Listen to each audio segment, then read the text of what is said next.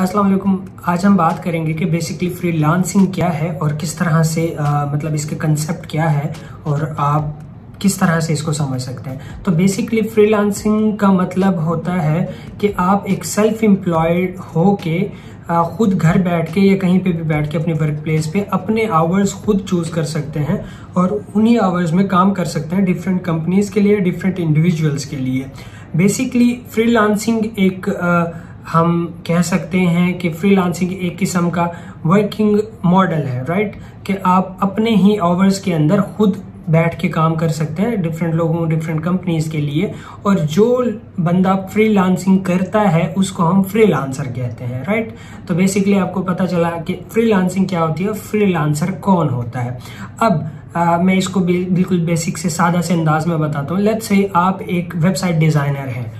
और आप घर बैठे हैं राइट तो आप डिफरेंट बायर्स आपके पास आते हैं और कहते हैं कि मुझे ये वेबसाइट बनवानी है। वो आपको अपनी रिक्वायरमेंट देते हैं। आप उनकी रिक्वायरमेंट के मुताबिक उनकी वेबसाइट उन्हें बना के दे देते और अपनी पेमेंट ले लेते हैं। यहाँ पे आप कोई फिक्स जॉब नहीं कर रहे। किसी भी कंपनी या किसी भी पर्सन के लिए यहाँ पे आपने एक बंदे के साथ कॉन्ट्रैक्ट किया कि वो आ, आप वो आपको उसको उसको कोई भी एक टास्क करवाना है छोटा हो सकता है बड़ा हो सकता है वो टास्क आवरली बेसिस हो सकता है या वो कंप्लीट मंथ के लिए आपको हायर करता है दो दिन के लिए हायर करता है तो इस तरह से आप उसके लिए काम कर सकते हैं। और यहाँ पे ये भी कोई रिस्ट्रिक्शन नहीं है कि आप एक ही बंदे के साथ काम करोगे। आप एट अ टाइम मल्टीपल लोगों मल्टीपल कंपनीज़ के साथ काम कर सकते हैं। मतलब आप अपने बॉस खुद हैं, अपने जो टाइमिंग की डिसीज़न है, वो आप खुद ले सकते हैं और अपने टाइमिंग्स के मुताबिक, अपने कन्वीनियंस के मुताबिक, अपनी स्किल सेट के मुताबिक, अपनी वर्किंग एरिया चूज़ कर सकते हैं कन्वीनियंट टाइम फ्रेम चूज़ कर सकते हैं जिसके अंदर आप बैठ के काम कर सकते हैं।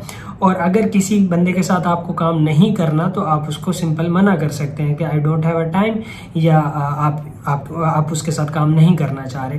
तो सिंपल अगर मैं इन सब चीज़ों को सम अप करूँ तो फ्रीलांसर एक फ्रीलांसर वो होता है जो कि अपने टाइम फ्रेम्स के अंदर, अपने वर्क प्लेस के अंदर डिफरेंट कंपनीज़ या डिफरेंट लोगों के साथ काम करता है और वो उसके इवज पैसे चार्ज करता है। अब ये डिपेंड करता है उस कॉन्ट्रैक्ट के ऊपर कि आप उस नेक्स्ट पर्सन या बायर के साथ क्या कॉन्ट्रैक्ट कर रहे हैं। वो आपको पर टास्क पे करेगा पर आवर पे करेगा या पर प्रोजेक्ट पे करेगा।